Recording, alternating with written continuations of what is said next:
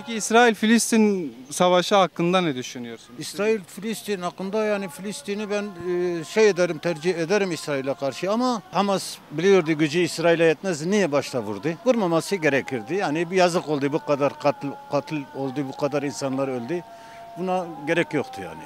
Hamas lideri eğer İran'da bir suikasttan öldürülüyorsa demek ki İsrail çok güçlü bir devlettir. Türkiye bu kadar katliamlar oldu, bu kadar şeyler oldu. Türkiye hiçbir zaman yas ilan edilmedi, etmedi daha doğrusu.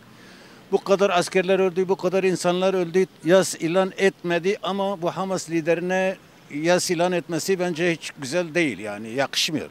Eğer Türkiye Cumhuriyeti bu kadar asker öldüyse, bu kadar insanlar öldüyse, bu kadar katliamlar olduysa, yas ilan etmediyse Hamas'ın liderine de yas ilan etmemesi, etmesini ben şey etmiyorum, uygun görmüyorum. Peki sizce boykot deniliyor. Sen, sizce boykot Türkiye'de doğru uygulanılan bir şey mi? Kesinlikle doğru uygulanılmıyor çünkü marketlerdeki yüzde 90-95 hepsi İsrail malları.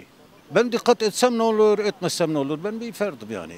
İsrail-Filistin savaşı hakkında ne düşünüyorsunuz? İsrail-Filistin savaşı hakkında Allah yardımcıları olsun abim. Büyüklerimiz bir şey düşünmüyorlar. Biz mi düşüneceğiz? Büyükleriniz bir şey düşünmediğini mi düşünüyoruz? Cumhurbaşkanımız bir şey düşünmüyor. Ya biz Allah'tan diliyoruz ki şu ümmet istidat ve kabiliyetine uygun hareket etsin ve gereği ve fıtratına uygun hareket etsin. Bu kadar lakaytlık biz insanlara yakışmıyor. İyi akşamlar. Derhaki savaşa İsrail-Filistin'e de çı- çı- والله خسكاف صباشا نفسي كنية أفضل من أنا كشتني أم تبع عسن حزورة ما تبع دسيفا تنا يعني نخوش شيء بيه أسشت خوازم أستخوازم كو دنيا خوش به وأمشي دابا Türkiye büyük bir ülkedir. Sözün eridir. Yapacaksa yapacak. Ama ne var ki çürük elmalar var.